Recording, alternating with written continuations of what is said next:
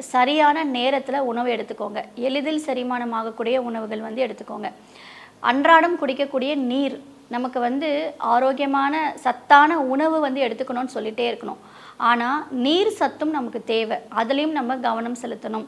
ஒரு நார்மலாக இருக்கக்கூடிய ஒரு பர்சன் எடுத்து எடுத்துக்கக்கூடிய அளவு வந்து ஒரு two and half two three litres தண்ணி வந்து குடிக்கணும்.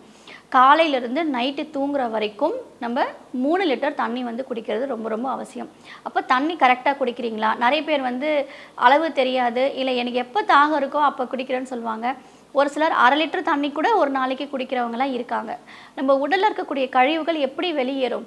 ஸோ நம்ம தண்ணி குடித்தாதான் நமக்கு யூரின் வழியாக உடலுக்கு தேவையில்லாத விஷயங்கள் எல்லாமே வெளியேறும். மோஷனும் நமக்கு ஃப்ரீயாக போக ஆரம்பிக்கும். வேர்வையும் நமக்கு நார்மலுக்கு வர ஆரம்பிக்கும். ஸோ நீர் சத்தும் நம்ம உடலுக்கு அவசியம். அதனால் மூணு லிட்டர் தண்ணி குடிக்கிறது ரொம்ப ரொம்ப முக்கியம். இப்போது வாரத்தில் ஒரு முறை எண்ணெய் தேய்ச்சி தலை குளிங்க. நம்மளுடைய பாரம்பரிய வழிமுறைகளில் சனி நீர் ஆடு அப்படின்னு சொல்லியிருக்காங்க. அதை நம்ம மறந்துட்டோம். ஸோ சன் அஹ், சனிக்கிழமானா எண்ணெய் வச்சு தலை குளிக்கிறது நல்ல விஷயம். எப்படி எண்ணெய் வச்சு குளிக்கணும்? நிறைய பேர் வந்து வெறும் உச்சியில் மட்டும் எண்ணெய் தேய்ச்சி தலை குளிக்கிறாங்க. அப்படி க பண்ணோம் அப்படின்னா உஷ்ணம் வந்து குறையாது.